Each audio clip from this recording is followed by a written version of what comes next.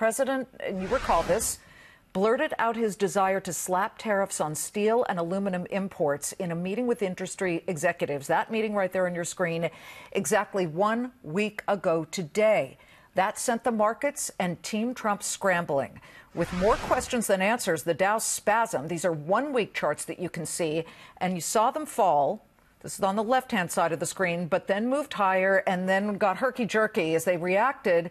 And you saw foreign countries our allies reacting bitterly, threatening retaliatory tariffs of their own on U.S. goods if the president goes through with this. S&P mirrored the Dow, recovering a bit this week. But what's the backstory on how today's event, as I said, now 27 and a, and a half minutes away, how did it come to pass? One person in particular had been nudging the administration to move in this direction for months. He runs a company out of Cleveland called Majestic Steel, which buys the metal from mills, processes it, and then sells it to manufacturers to make things like HVACs, cars, and appliances. The CEO of that company, Majestic Steel, met with the president last fall to explain firsthand the difficulties the steel industry is really facing, particularly from cheap Chinese imports. Todd Leebow, that man is here in a Fox Business exclusive. A big day for you. Do you wish you were there in D.C.? Yeah, unfortunately, I'm here in LA right now, but uh, big day definitely for the steel industry. I would imagine. Um, the president tweeted this morning that he wants to protect the steel industry. He has made that very clear. But then he went on to say in this particular tweet, which was about seven hours ago, we need at the same time to show great flexibility and cooperation. That was the tweet. We could put it back up and cooperation over when it comes to our real friends, and we need to treat them fairly, especially they need to treat us fairly on trade and military.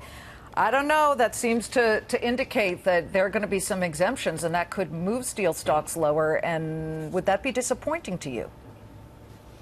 I've always thought the global tariff was just the beginning of this process. I think that now it's a matter of how the action is taken from here. I think that exemptions are going to be a part of the process, and it's not a one size fits all solution. The steel supply chain is very complex. I mean, we have steel producers here that source slab and, and re roll that material, and so those producers are very important to the steel supply chain as well. So I, I don't think that the exemptions scare me. I think the exemptions are a part of the process and a necessary part of the process. I think the global tariff is the beginning of the solution. It'll stop the bleeding, and that's what we need to do to, to get the industry back in the right place. What would be the best case scenario? What one thing are you really listening for here?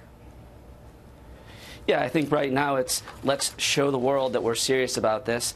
We see and recognize the importance of a domestic steel industry and what it means to our country. And then from there, we look at who's playing fair and who's not playing fair. And we look at it by country and by product. And then, as the president suggested, we can adjust this tariff up or down to make sure that we're handling the situation in the right way because you don't want to negatively impact the U.S. economy, U.S. jobs, and the U.S. market. And there's a lot of different things that are driving uh, the decision decisions here, and, and you got to think about the whole supply chain. But from a long term perspective, if you take a step back and look at it, our okay. domestic steel industry has been deteriorating. So we need to make sure that we stop that and then we take action moving forward to, to have a healthy, strong steel industry. You have particularly pointed out China as a cheater, as the worst offender. You're not the only ones. There were more than 120 Republicans who have signed a letter saying, forget our allies, make sure to focus and target and, you know, the underscoring line here was that it should be China. We just had Wilbur Ross, the Commerce Secretary, on this show exactly at this time yesterday. I pushed him on that. Listen, and then I'll have you react.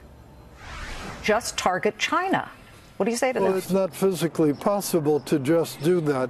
Let me give you some real world numbers. China has shipping us less steel now than they did five years ago directly. But what they're doing is backdooring it through other countries. How about targeting China and the so called other countries, among them, we understand Vietnam, and then let countries like Europe, who certainly are our allies, uh, remain sort of dry from this? Yeah, I completely agree with Secretary Ross. I mean, I've seen this unfold.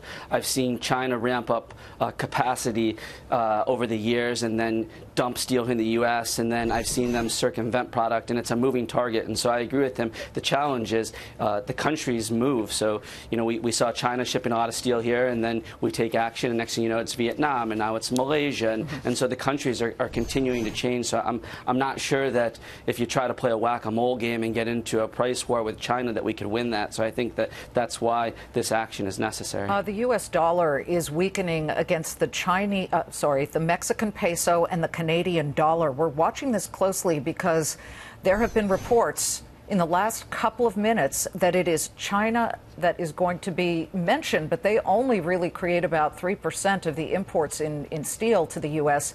That Canada and Mexico are the two, and you can see them moving higher against the dollar right now. Those are the two countries that will be temporarily exempt. How do you feel about that? Yeah, I mean, I think that we want to make sure that we're not uh, impacting strong trade partners like Canada, Mexico, but we also have to be careful that if we put a global tariff on and we don't actually address those countries, we could see product come through those countries. And as you suggested, with the currency uh, exchange rate, then those jobs can be going to Canada and that production can be going to Canada as well. So we got to make sure that we prevent slabs coming into Canada and then shipped to the United States or other products as well. That's just an example, but I, I think that we need to make sure that we're thinking about that.